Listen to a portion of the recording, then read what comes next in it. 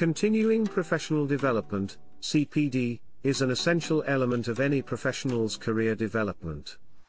For engineers, CPD is a vital means of staying up to date with the latest advancements and developments in their field after they have completed their undergraduate qualifications. Engineers must maintain their knowledge and expertise through CPD activities to remain relevant and competitive in their industry. If you are an engineer planning to apply for skilled migration, you will need to include all relevant CPD activities in your Competency Demonstration Report, CDR, application. A CDR is a document that demonstrates your engineering knowledge and experience to the Engineers Australia, EA, assessing authority. The EA assesses CDRs for all skilled migration applications for engineers who intend to work in Australia. When submitting your CPD activities, it is crucial to present them in a table format that includes the title, date, duration, venue, and organizer of each activity. Your CPD listing should not exceed one A4 page, and you should not include certificates for each course.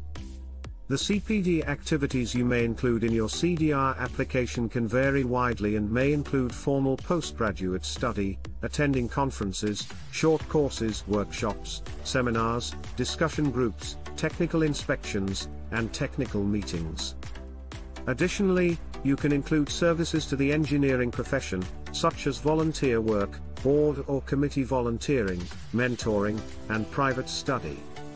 It is essential to choose CPD activities that demonstrate your commitment to lifelong learning and professional development.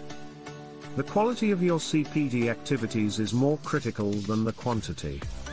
The assesses CDRs based on your competency, skill, and knowledge in your engineering discipline, and your CPD activities should reflect these criteria. In conclusion, continuing professional development is an essential aspect of an engineer's career development. When applying for skilled migration, it is crucial to include all relevant CPD activities in your CDR application.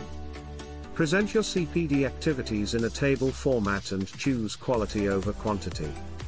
By demonstrating your commitment to lifelong learning and professional development, you can showcase your expertise and increase your chances of successful skilled migration.